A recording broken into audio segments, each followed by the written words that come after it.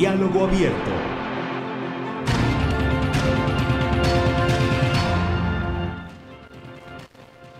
Abierto a través de las pantallas de Somos Televisión. Buenas tardes, Marían.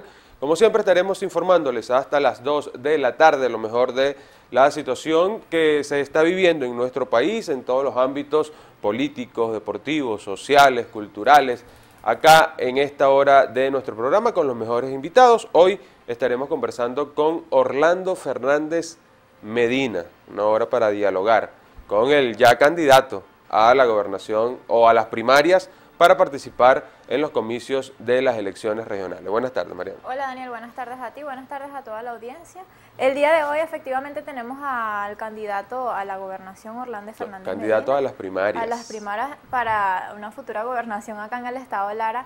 Eh, vamos a conversar sobre esto y sobre todas las aspiraciones que, que tiene este candidato, así que no se aparten de nuestras pantallas nos comunicamos, los invitamos a que se comuniquen con nosotros, arroba noticias BQTO y por el 0414-950-9729. Sí, eh, antes de iniciar nuestro programa estábamos escuchando a la canciller Delcy Rodríguez, vamos a seguir nosotros escuchando la locución, esta rueda de prensa que está dando la canciller Delcy Rodríguez.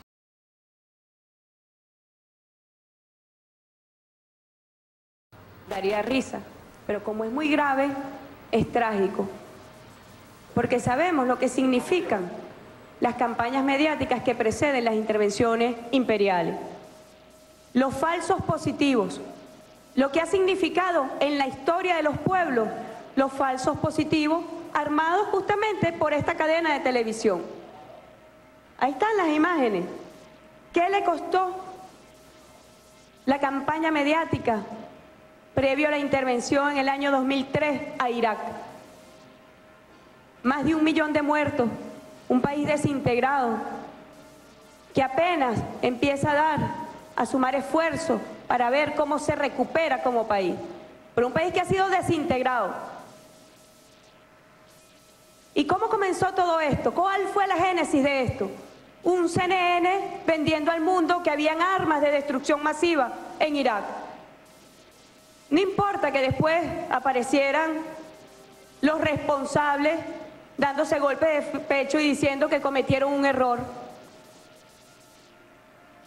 Pero su error costó millones de personas que fallecieron, causó violencia, causó sufrimiento, causó destrucción de un país.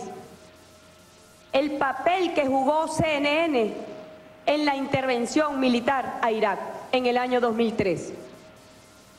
El papel que ha jugado CNN en campañas mediáticas contra Rusia, contra China, contra Venezuela. Pero esta campaña reciente es muy grave.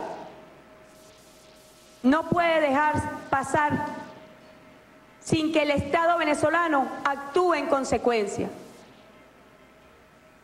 Y nosotros hemos activado acciones para resarcir el daño que ha causado CNN a Venezuela.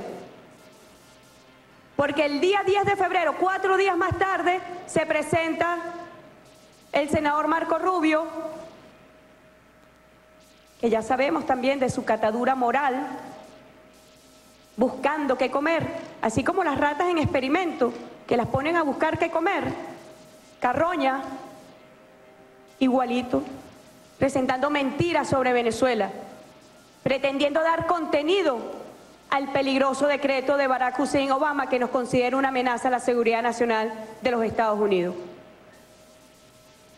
Pero más curioso aún, que en esa sesión que se piden sanciones contra Venezuela, tres días más tarde ocurren las sanciones contra una altísima autoridad de la República Bolivariana de Venezuela.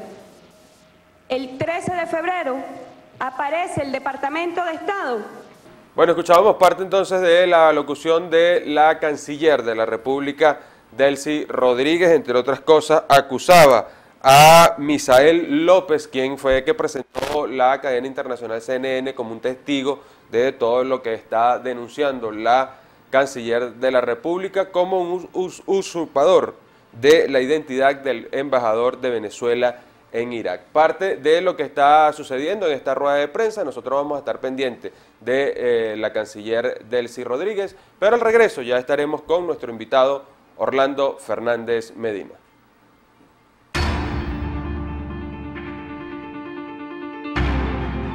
Diálogo abierto.